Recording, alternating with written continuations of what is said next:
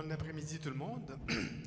Alors, programmer le concert d'aujourd'hui n'a pas été une chose difficile parce que, vous savez, les chefs d'orchestre, on cherche toujours des liens ou des, des motifs pour, euh, disons, donner un angle particulier au concert. Puis là, ben, c'était pas très, très difficile. La Saint-Valentin, c'était avant hier. Donc, on va vous parler d'amour aujourd'hui. Euh, en fait, nous allons à la base jouer des musiques qui ont été inspirées par les deux plus grandes histoires d'amour du monde entier, Roméo et Juliette et Tristan et Isolde.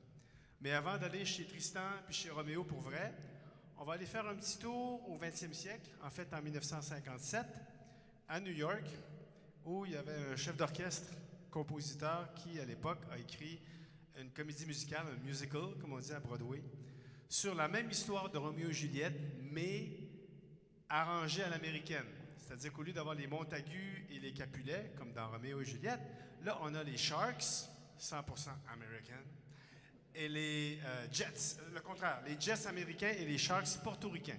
Et l'histoire, c'est l'histoire d'amour entre Tony, qui fait partie des Jets, et Maria, qui est la fille du chef de bande des Sharks, comme Roméo et Juliette, Montagu, Capulet.